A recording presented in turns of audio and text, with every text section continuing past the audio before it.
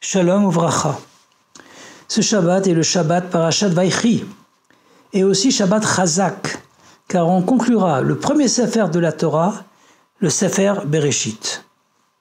La paracha commence par les mots Vaichi Yaakov Be'eretz Mitzrayim Sheva. Et Yaakov vécut dans le pays d'Égypte 17 ans. Le nom de la paracha, qui est l'essence de la paracha, est Vaichi. Il a vécu. Pourtant, le sujet central est la mort de Yaakov et les événements qui ont suivi. Une des explications est comme l'enseigne Rav Yochanan dans le traité Ta'anit 5b.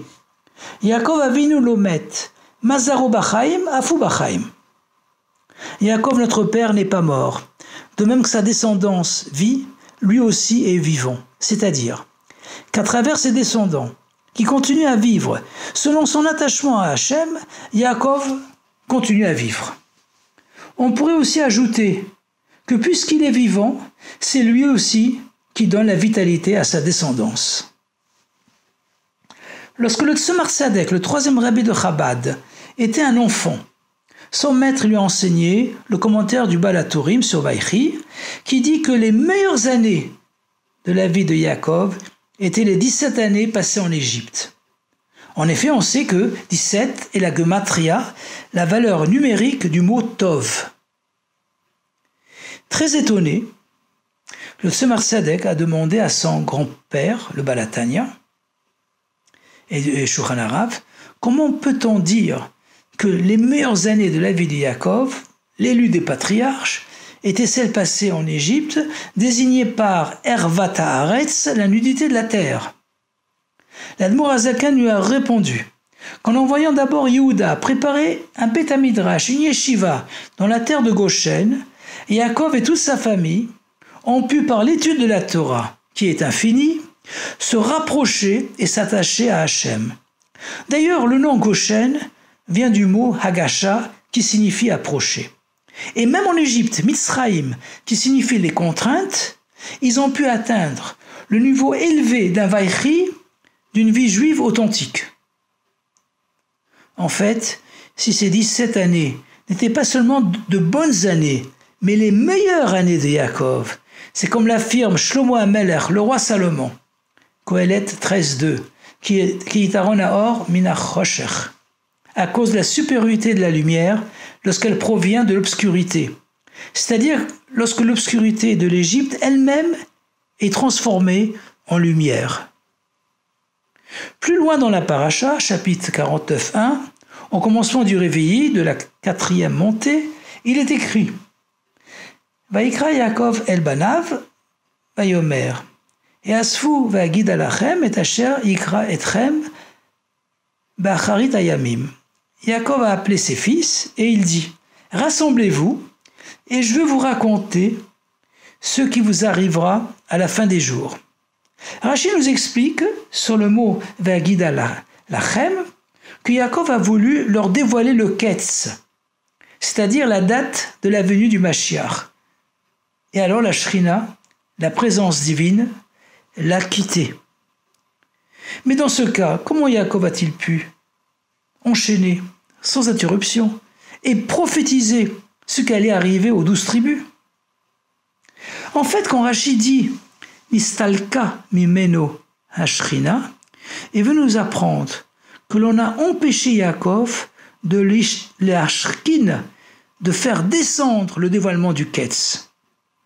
Mais Yaakov connaissait le Ketz, et l'Esprit divin, le Ruach HaKodesh, régnait sur lui. On peut aussi se demander quel était l'intérêt pour Yaakov d'annoncer à ses fils que le Ketz sera dans plusieurs milliers d'années, comme on le sait aujourd'hui. Ce qui allait certainement décourager sa descendance.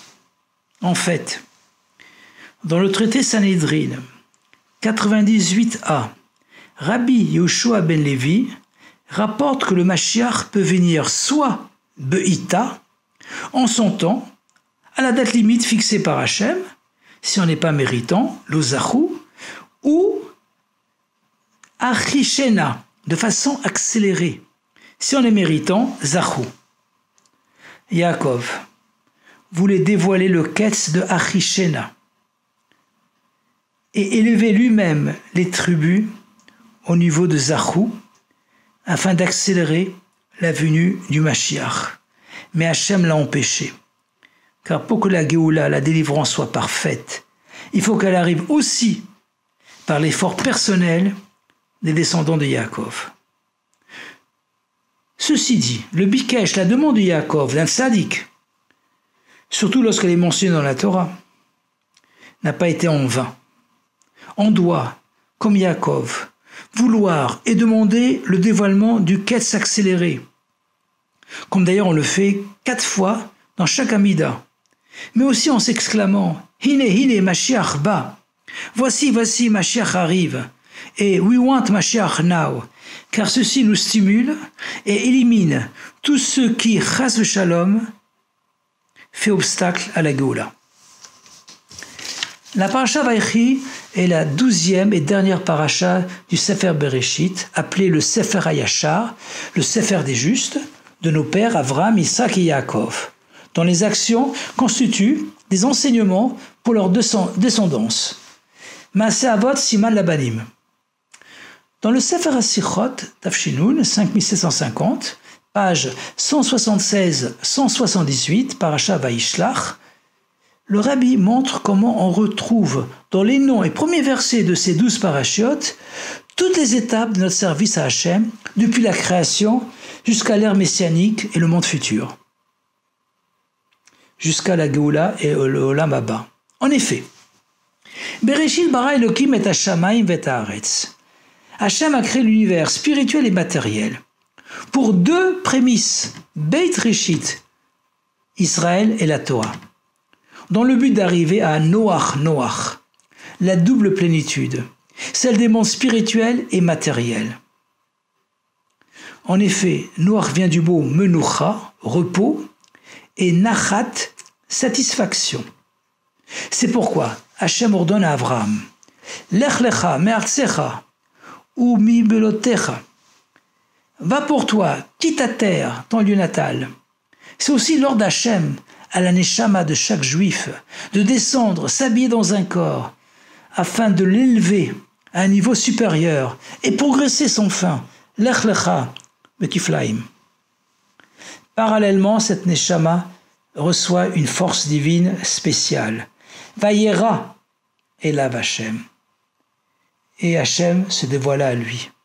Mais aussi, Mashbimoto, te tzadik va et on fait jurer à la Neshama, et on, la rassasie des forces, afin qu'elle puisse se mesurer avec les difficultés de ce monde matériel, comme mentionné au début du Sefer Tanya, Kadisha.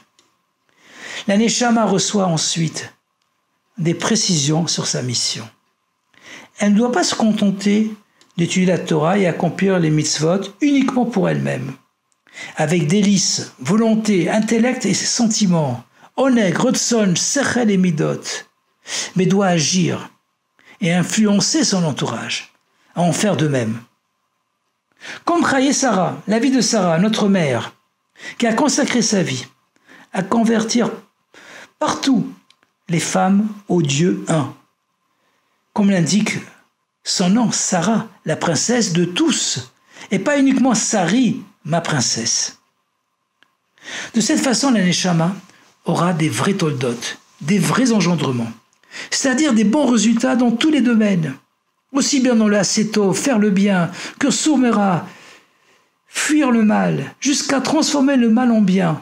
En effet, toldoteyam shel sadikim maasim tovim. Les engendrements des sadikim sont les bonnes actions. Avec cette sixième paracha, Toldot, s'achève l'étape de préparation de la mission de l'âme. Avec Vaïtse, Yaakov mi Shava, Vaïlech Harana, et Yaakov sorti de Bersheva pour aller à Haran, commence la deuxième étape. Le juif passe à l'action. Son âme a quitté le puits des sept sentiments célestes supérieurs et est descendu dans son corps. Il se rend à Haran, où l'on excite la colère divine, Charon Shelamakom. Sur le terrain, il peut rencontrer Laban, le rusé, qui habite Haran, et toutes sortes de difficultés liées à la galoute, à l'exil. Il doit alors se souvenir de Yaakov, qui même à Haran a déployé toutes ses forces pour accomplir les 613 mitzvot, Imlavan Garti. Et même si on se trouve face à face avec Esav Aracha, on ne doit pas faiblir ni avoir peur, mais au contraire, essayer comme Yaakov de le transformer lui-même en bien. Vaishlach Yaakov Malachim el Esav Achiv. Et il envoya Yaakov des anges à Esav son frère. En agissant ainsi, on méritera de conclure l'exil avec une victoire certaine sur les forces impures. La mission étant alors accomplie, on arrive à la troisième étape, celle des résultats, de la récompense. Vaïechev, s'installer dans la sérénité, à l'ère du, du de la fin de notre travail et la fin de la galoute de l'exil. Alors se réalise Vaïgash, et il s'approcha. C'est-à-dire que chaque juif pourra alors se rapprocher de son Créateur de façon unique, car alors leur union sera parfaite. Et ceci jusqu'à Vaïchi, il vécut, la résurrection des morts et la vie éternelle, pour tous les bénis Israël, ainsi que les chassidés omota olam, les justes parmi les nations. Que ceci se réalise rapidement. Avec le dévoilement du Rabbi Melech HaMashiach Miad Mamash, Yechi Adoneinu Morin V'Rabbeinu Melech HaMashiach Leolam Vaed, Shabbat Shalom, Akut Shabbos, Chazak Chazak Venit Chazek, et à bientôt dans le troisième Beit HaMikdash.